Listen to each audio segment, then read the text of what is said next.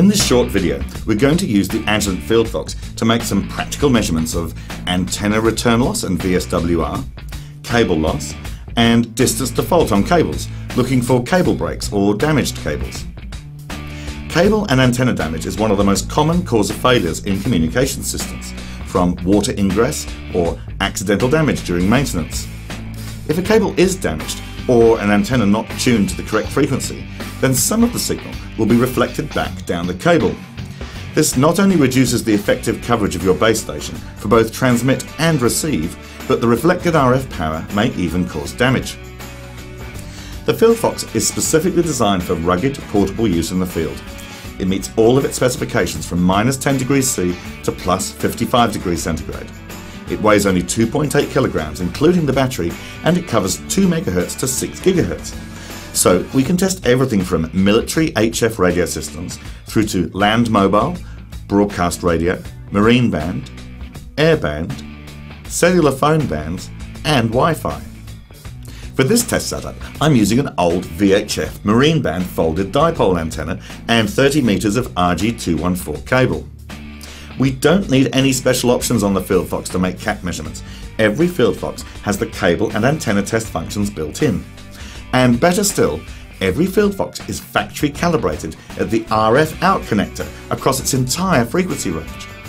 This CalReady condition means we can start using the FieldFox immediately we arrive on site. So let's start with a very practical example. We've received a priority call out to a repeater site and quickly need to confirm that the antenna and cable are working correctly. This is where CalReady is invaluable. We just disconnect the cable from the transmitter at the bottom of the mast and connect it directly to the FieldFox.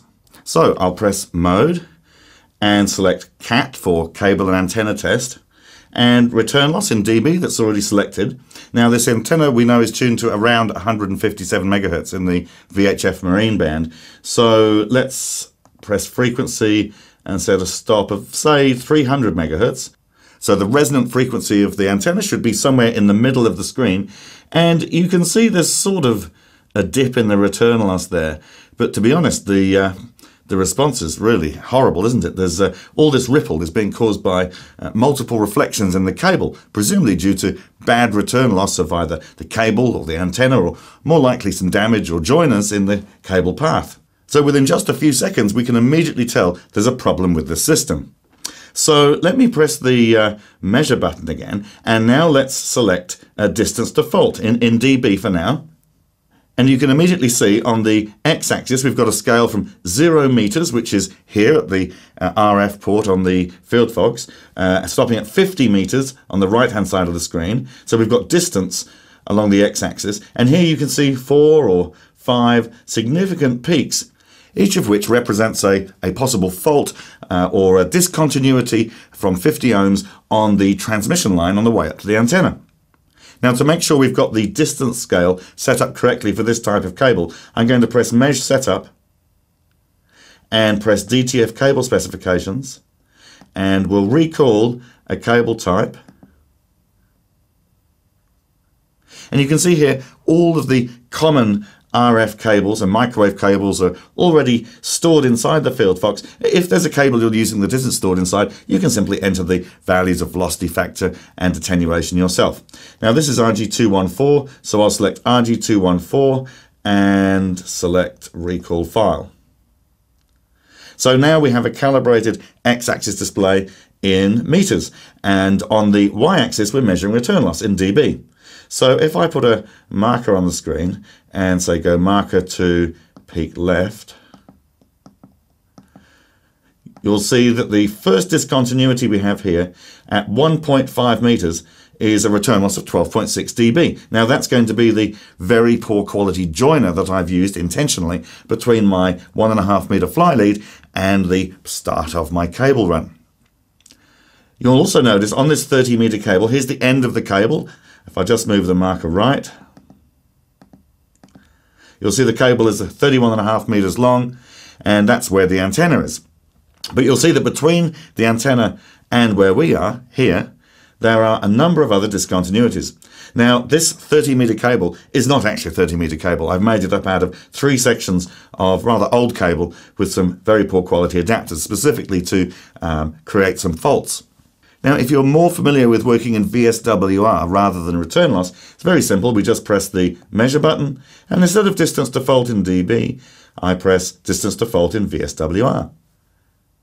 And now you can see exactly the same trace with the four peaks, but now with a scale on the y-axis of VSWR. And you can see that even the worst peak here has a VSWR of about 1.6, and the other peaks are below 1.5 which may be acceptable for your installation, although we know, having seen the return loss plot previously, that in fact it's these discontinuities that are causing all that ripple on the frequency response plot of the antenna.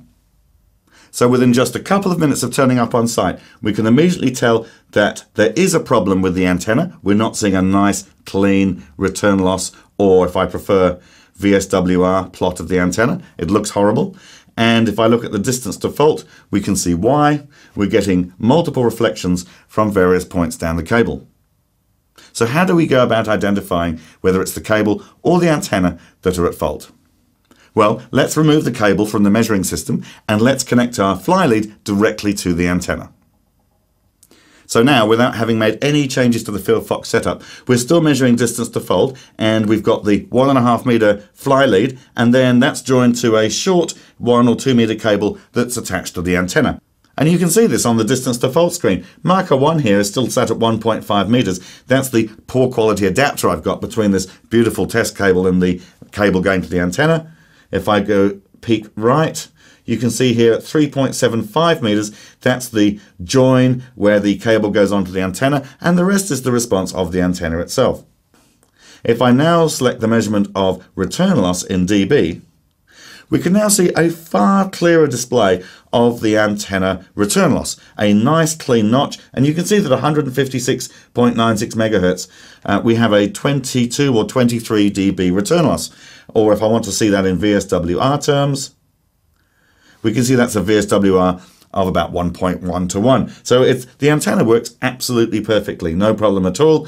Uh, it's got a nice response, it's tuned on frequency, and the return loss or VSWR is just as we'd want. So we've now proved within just a space of a few minutes that the antenna is good, the cable needs replacing, and we can report back to base with the results. Very rarely at a real antenna site will you be the only operator. So when you're testing your cable and antenna, obviously you've taken your transmitter out of service, but there may be many other transmitters live in operation and transmitting as you're performing the tests. Now, those live transmitters could easily cause erroneous responses on the trace. So, when we're sweeping the frequency range here from 2 MHz to 300 megs to sweep this antenna, as well as seeing the response of this uh, of the antenna, we could also see some other responses perhaps that were caused by the transmitters. So on the FieldFox, under the uh, measurement setup button, there's a special feature called interference rejection. Turning on the interference rejection minimizes the chance of having erroneous responses on your return loss or VSWR traces. Now, for all the measurements we've made so far, we've not done any calibration at all with an open short or load, simply because the CalReady is already built in. This, this port here is factory calibrated at all frequencies but often we'll want to calibrate out the effect of perhaps our, our fly lead or another cable in the system. So how can we do that quickly and effectively without having to go through the full open short load calibration that you may be used to? Well, that's where QuickCal comes into its element. I'll disconnect the fly lead from the antenna and I'll press Cal. And the Cal type is already set to QuickCal, so I'll press Start Cal and we just follow the instructions. Connect your jumper cable, which we've got connected, and uh, adapter to the RF output. The cable and adapter may not be needed. Well, we want to calibrate out the effect of this cable. It says press quick cal when you are ready. So I'll press that, and it's now performing the calibration. It's just using the open circuit end of the cable, doesn't require any specific standards. We do have the option of connecting a 50 ohm load if we want a, a better quality cal, but we don't need that in this instance. So I'll press skip load and then finish. And now you can see that our reference plane for the measurement has moved. No longer is this zero meters here, but now the end of our one and a half meter test cable, the end of our cable here is now the reference plane, zero meters. So if I now reconnect the antenna, you'll see that the spike in response from this join has now disappeared or gone to the zero meters point.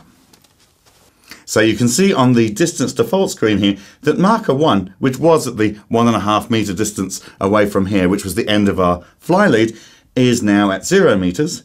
And if we move the marker to the right, you'll see now there is the response of our antenna, 2.25 meters, which is the length of the antenna's fly lead from where we did the calibration. So as you've seen, we've tested the entire cable and antenna system as well as making individual measurements of the cable and the antenna, all in the space of a few minutes and without the need for an external cal kit. And of course, with the FieldFox, we can still perform the traditional open short load calibration if you prefer. For further information on the Agilent FieldFox, please visit the website shown below or contact your local representative.